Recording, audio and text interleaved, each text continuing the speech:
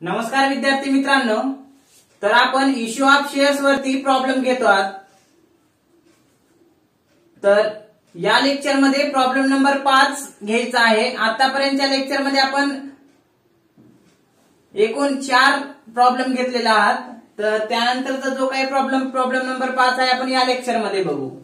तर हा प्रॉब्लेम थोडक्यात सांगतो कशावरती आहे. तर हा प्रॉब्लेम इश्यू म्हणजे जे काही शेअर्स आहेत ते शेअर डिस्काउंट वरती इश्यू केलेले आहेत. आता डिस्काउंट वरती इश्यू केलेले आहेत म्हणजेच समजा शंभर रुपयाचा शेअर्स आहे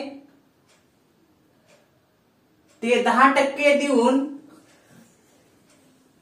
दहा टक्के डिस्काउंट देऊन इश्यू केला. म्हणजे शंभर रुपयाचे दहा टक्के काढा. किती येईल हो? दहा रुपये. म्हणजे शंभर रुपये होते शंभर रुपयामधून दहा रुपये गेले राहिले नव्वद. हे लक्षात. म्हणजे आपण काय केलं? शंभरची समजा वस्तू नव्वद रुपयाला विकणं. म्हणजे ऍक्च्युअल किमतीपेक्षा कमी किमतीला आपण ते विकणं. म्हणजे ते झालं डिस्काउंट देऊ. आपण दुकानात गेलात दहा रुपयाचे पेन जर आपल्याला पाच रुपयाला जर भेटत असेल तर ते पाच रुपये जे काही आपल्याला डिस्काउंटच्या स्वरूपामध्ये भेटतात ते आपला झाला फायदा आपला. पण देणाऱ्याचा काय झाला? एक प्रकारचं नुकसानच आहे ना. तर आता बघा हा प्रॉब्लेम त्याचाच आहे. काय? शेअर्स इश्यूड केलेत ऍट डिस्काउंट वरती. आपण अगोदरच्या प्रॉब्लेममध्ये बघितलात. शेअर ऍट पर वर विकल्यावर काय एंट्री करतात? ऍट प्रीमियम वरती केल्यानंतर काय एंट्री करतात? तर या ठिकाणी आता या प्रॉब्लेममध्ये शेअर इश्यू केले डिस्काउंट वरती. हे लक्षात. म्हणजे बघा दहा रुपयाचा शेअरची किंमत होती दहा रुपये. त्याच्या दहा टक्के डिस्काउंट दिला. आता कंपनीवर डिपेंड असते. पाच टक्के डिस्काउंट देईल दहा टक्के देईल पंधरा टक्के देईल वीस टक्के देईल ते डिपेंड अपॉन कंपनी हे लक्षात. पण आता या प्रॉब्लेममध्ये काय सांगितलंय? की कंपनीची शेअर्सची किंमत शेअर्स व्हॅल्यू किती होती? तर दहा रुपये होती. त्या दहा रुपयाच्या दहा टक्के किती होते हो? दहा गुणिले दहा भागिले शंभर करा. हे दोन शून्य हे दोन शून्य कटले किती आलं? हे काय की एक? एकच आलं. हम्म दहा रुपयाची दहा टक्के काढलं तर एक रुपये यायलाय मग हे एक रुपये. मग दहा रुपयामधून एक रुपये गेले. राहिले नऊ रुपये. नऊ रुपये याला शेअर्स इश्यू करायचं ठरवलं कंपनीनं आणि हे जे काही नऊ रुपये राहिलेले आहेत शेअर्सची रक्कम कशी मागवणार आहे तर बघा. अप्लिकेशन सोबत पाच रुपये. हे लक्षात. नऊ मधून पाच गेले राहिले किती? चार. आणि हे राहिलेले चार रुपये कशासोबत मागवणार आहे? कंपनी तर अलॉटमेंट सोबत. हे लक्षात. म्हणजे आता टोटल शेअरची किंमत आहे दहा दहा पैकी दहा टक्के डिस्काउंट दिला. म्हणजे एक रुपये गेला नऊ रुपये राहिले नऊ रुपये पैकी पाच रुपये अप्लिकेशन सोबत आणि राहिलेले चार रुपये कशासोबत? अलॉटमेंट सोबत. या प्रॉब्लेममध्ये सांगितलं नाही. फर्स्ट कॉल सोबत काही रक्कम मागवली किंवा सेकंड कॉल किंवा फायनल कॉल सोबत काही रक्कम मागवली. असं काहीही नाही सांगितलं. जे काही कंपनीने शेअर्स इश्यू केलेले आहेत ते काही रक्कम अप्लिकेशन सोबत काही रक्कम अलॉटमेंट सोबत. हे लक्षात. आता ते कंपनीवर डिपेंड असते. कंपनीने जी काही शेअरची किंमत ठरवलेली आहे ती एकत्रितरित्या सर्वच रक्कम अप्लिकेशन सोबत मागू शकते किंवा काही रक्कम अप्लिकेशन सोबत आणि काही रक्कम अलॉटमेंट सोबत मागू शकते. किंवा काही रक्कम अप्लिकेशन सोबत काही रक्कम अलॉटमेंटच्या वेळी आणि काही रक्कम फर्स्ट कॉल सेकंड कॉल किंवा फायनल कॉलच्या माध्यमातून मागू शकते. कंपनीला जसं भांडवलाची आवश्यकता लागते तसं कंपनी मागू शकते. तर या प्रॉब्लेममध्ये सांगितलंय की कंपनीनं डिस्काउंटवरती शेअर्स इश्यू केलेले आहे. आणि डिस्काउंट दिल्यानंतर काही रक्कम अप्लिकेशन सोबत आणि राहिलेली रक्कम अलॉटमेंट सोबत मागवलेली आहे. First call second call final call दिलेला नाही. दिलेला नसेल तर जेवढं दिले तेवढंच विचारात घ्यायचं आणि त्यावरून इंटरॅक्ट करायचं. आता मी प्रॉब्लेम वाचून दाखवतो. बघा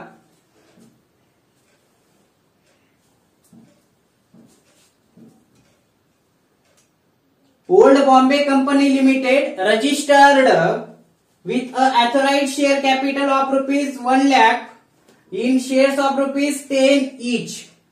Old Bombay company limited होती त्यांची रजिस्टर्ड किंवा अधिकृत भाग भांडवल किती आहे? तर एक लाख रुपये आहे. आणि त्या एक लाख रुपयाच्या प्रत्येक शेअरची किंमत किती आहे? तर दहा रुपये. तर इथं आपण करू शकतो की एक लाख एकूण भाग भांडवलाला किंवा एकूण अथोराइज कॅपिटलला शेअर्सच्या किमतीनं भागला असता एकूण शेअर्स मिळतील. म्हणजे एक लाखाला दहा रुपयानं भागला असता शेअर्स किती झाले? दहा हजार झाले. हे लक्षात. कारण आता बघा आता या दहा हजाराला जर शेअर्सच्या किमतीनं गुणलं तर परत एक लाख रुपये मिळतात. हे लक्षात. मग कंपनीचे शेअर्स किती? तर दहा हजार. आपल्याला ते समजून घ्यावं लागेल किंवा काढून घ्यावं लागेल.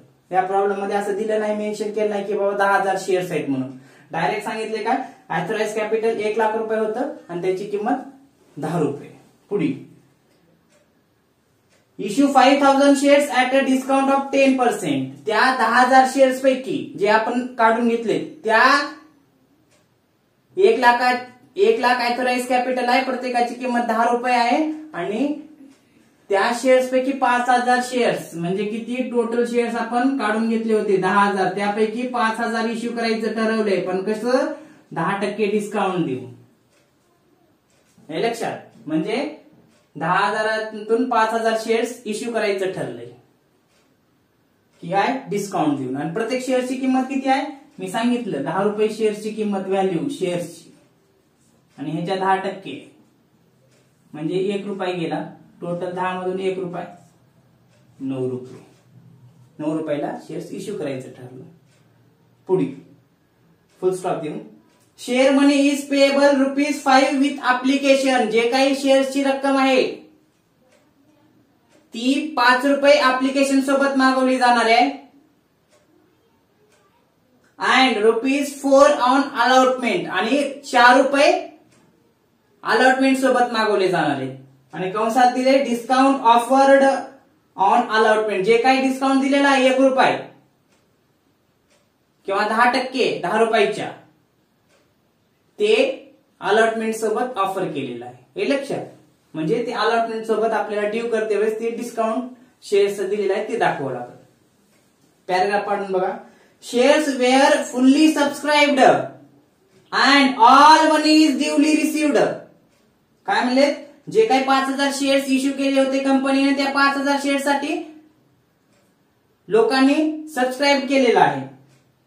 ऑल मनी ड्युली रिसिव्ड सर्व पैसे भेटलेले आहेत except on allotment on hundred shares allotment Worli amount allotment जे काही झालेलं आहे त्या अलॉटमेंट अलॉटमेंट मधील शंभर शेअर्स सोडून बाकी सर्व रक्कम भेटलेली आहे. म्हणजेच या ठिकाणी काय? शंभर शेअर्स वरती अलॉटमेंटची मनी भेटलेली नाही. अलॉटमेंटची मनी किती सांगितली होती? तर चार रुपये सांगितली होती. ते चार रुपये शंभर शेअर्स वरती भेटले नाही. Full stop show the journal entries in the books of the old company limited काय? ओल्ड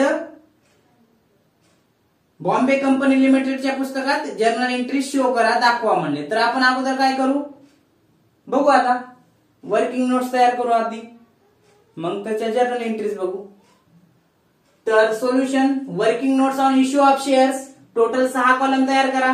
पहिला इन्स्टॉलमेंट दुसरा number of application oblique number of shares नंतर तिसरा कॉलम अमाऊंट ड्यू त्यानंतर चौथा कॉलम अमाऊंट रिसिव्ड पाचवा कॉलम एक्सेस अमाऊंट रिफंड आणि शेवटचा कॉलम कॉल्स इन एरियर्स किंवा एरियर्स फक्त लिहिला तरी चालेल. असे सहा कॉलम तयार करायचे. मग घ्या मग. काय म्हणजे म्हणले सुरुवातीला तर अप्लिकेशन अप्लिकेशन मनी आपण जसं अगोदरच्या प्रॉब्लेममध्ये वर्किंग नोट तयार केला तसंच अप्लिकेशन रुपीज किती सांगितले? तर पाच रुपये. किती शेअर्स इश्यू करायचं ठरवले कंपनीनं पाच हजार शेअर्स हे लक्षात. आता अमाऊंट ड्यू किती होत्या बघा? पाच हजार सॉरी पाच हजार गुणिले पाच. किती होते बघा? पाच गुण पाच हजार गुणिले पाच केलं तर पंचवीस हजार होते. हे पंचवीस हजार ड्यू झाली. कंपनीने म्हणली ऍप्लिकेशन मनीच्या माध्यमातून पंचवीस हजार मिळतील. पाच हजार गुणिले पाच प्रमाण पंचवीस हजार. आणि ते पंचवीस हजार भेटले पण. हे भेटले पण.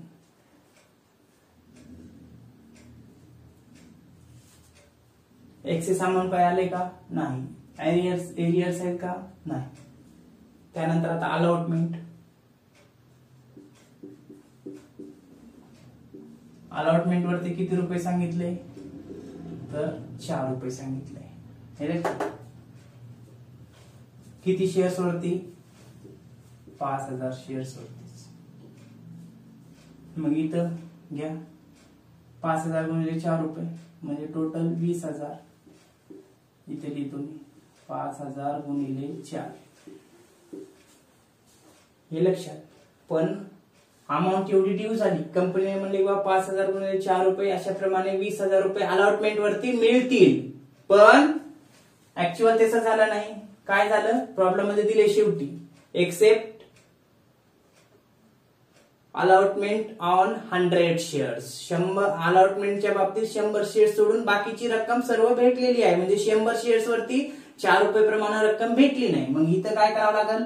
बघा पाच हजार पैकी शंभर शेअर्स ची रक्कम चार रुपये प्रमाणे भेटली नाही. म्हणजे चार हजार नऊशेचीच भेटली.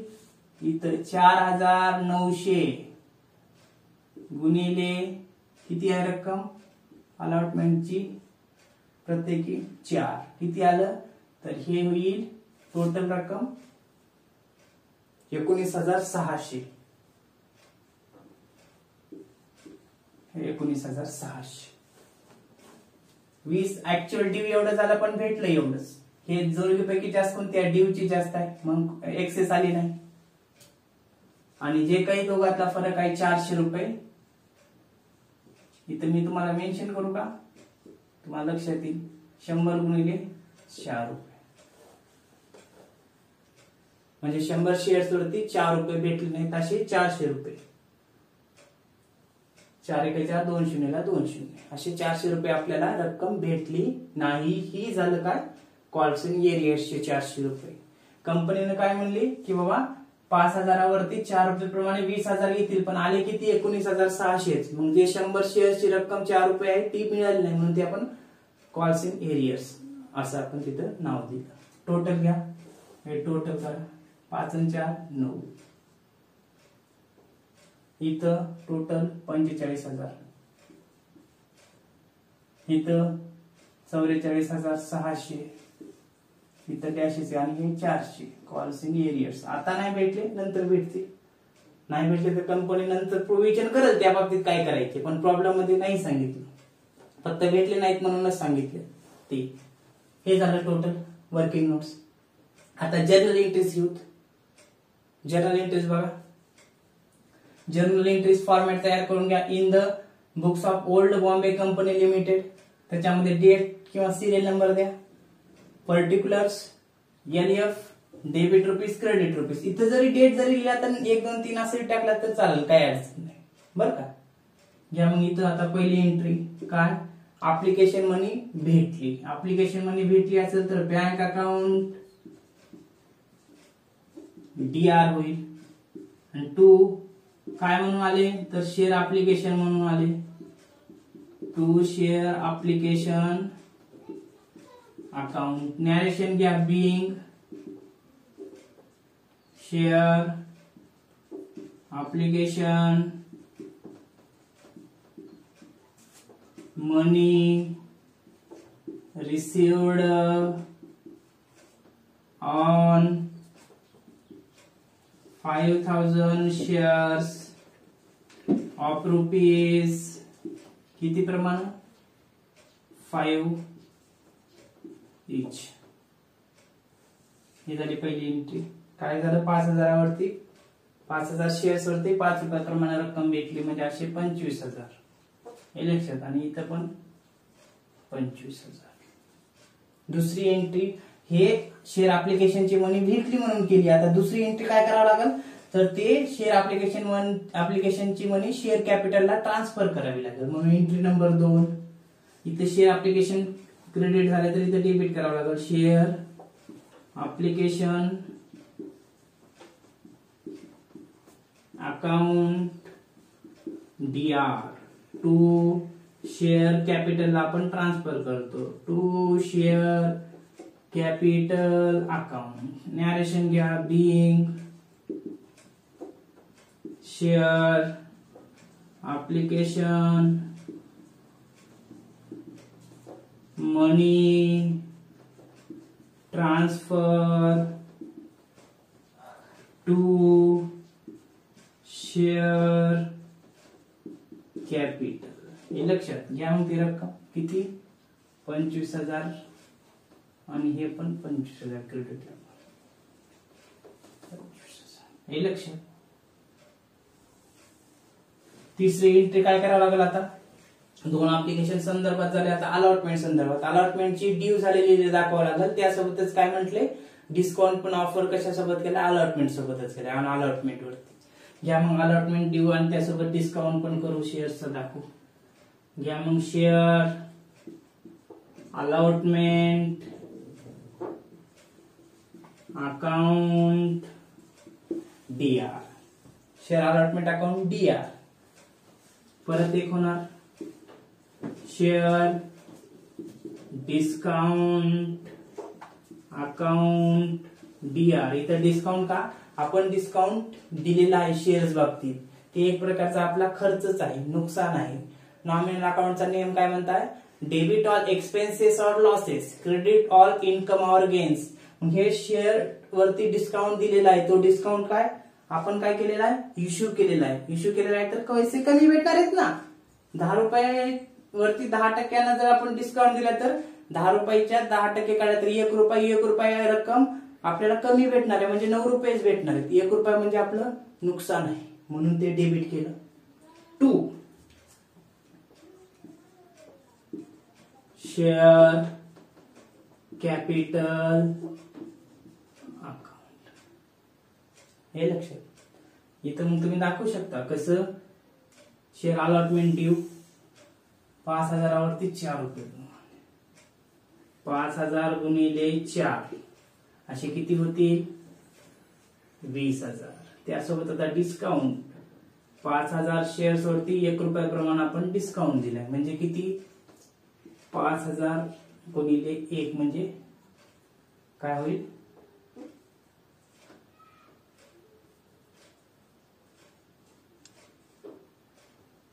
पाच हजार. आणि क्रेडिटला किती होती? हे वीस आणि हे पाच म्हणजे? पंचवीस हजार. हे लक्ष. नॅरेशन घ्या लिहून ड्यू म्हणून आणि डिस्काउंट दिलं म्हणून. Being share allotment money dues किंवा due on 5000 shares at the rate rupees 4 each. At the rupee at the rupee rupees 4 each and discount and discount allowed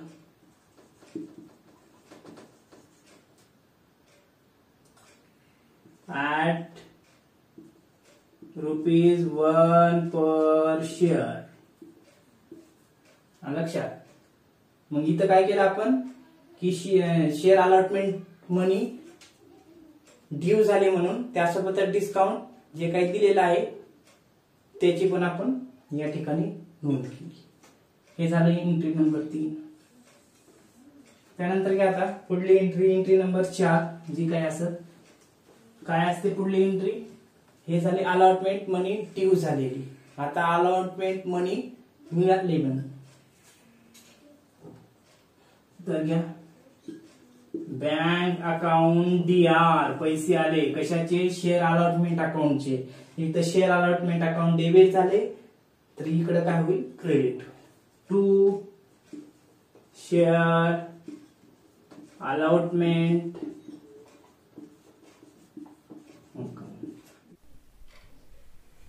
तर इथं डिस्काउंट आपण दाखवलाय. इथं आपण शो केलाय फक्त डिस्काउंट दिला म्हणून. पाच हजारावरती एक रुपयाप्रमाणे. त्याची दुसरी नोंद होणार नाही. फक्त अलॉटमेंट सोबत ऑफर केलाय म्हणून इथं अलॉटमेंट सोबत अलॉटमेंट मनी ड्यू झाले तेव्हा दाखवले. त्याची दुसरी नोंद काही होणार नाही. हे लक्षात. त्यानंतर आपण चौथी एंट्री करत आहात काय? Bank account debit allotment money भेटली म्हणून. Bank account debit to share allotment account हे लक्षात. आता बँक अकाउंट डेबिट किती शेअर्सवरती किती रुपयाप्रमाणे होईल तर बघा. बँक अकाउंट डेबिट इथं बघू वर्किंग नोटमध्ये. अलॉटमेंट मनी कंपनी काय म्हणते? पाच हजारावरती चार रुपयाप्रमाणे वीस हजार रुपये शेअर अलॉटमेंट वरती मिळतील. हे लक्षात. पण काय झालं? की ॲक्च्युअल चार हजार नऊशे शेअर्सवरतीच चार रुपयेप्रमाणे भेटले. कारण तर बघा कंपनी काय म्हणते? की शंभर शेअर्सवरती चार रुपये प्रमाणे अलॉटमेंटची रक्कम भेटलेली नाही. येले लक्षात. म्हणजेच पाच हजार शेअर्स पैकी चार हजार नऊशे वरतीच. म्हणजे एकूण पाच हजार शेअर्स होते. त्यापैकी काय? शंभर शेअर्सवरती चार रुपये प्रमाणे असे चारशे रुपये भेटलेले नाहीत हे लक्षात. म्हणजे ही रक्कम भेटली नाही. तर किती रक्कम भेटली आहे? चार हजार नऊशे शेअर्सवरती चार रुपये प्रमाणे किती? एकोणीस हजार सहाशे. एवढी रक्कम भेटलेली आहे. अलॉटमेंटची येले लक्षात. म्हणून काय एंट्री केली? की बँक अकाउंट डेबिट चार हजार नऊशे गुणिले चार. अलॉटमेंटची रक्कम भेटली म्हणून. टोटल एकोणीस हजार सहाशे. टू शेअर अलॉटमेंट अकाउंट तेवढीच रक्कम एकोणीस हजार सहाशे. आणि नॅरेशन काय घेतलं? Being share allotment money received except on hundred shares शंभर शेअर सोडले असता बाकीच्या शेअर्सची रक्कम मिळालेली आहे. आपण असं थोडक्यात सांगू शकतो. हा झाला प्रॉब्लेम नंबर पाच. आता यामध्ये पुढली एंट्री होईल का हो? नाही होणार. ठीक आहे मग. यानंतरचा प्रॉब्लेम प्रॉब्लेम नंबर सहा आपण पुढल्या लेक्चरमध्ये घेऊ. Okay thank you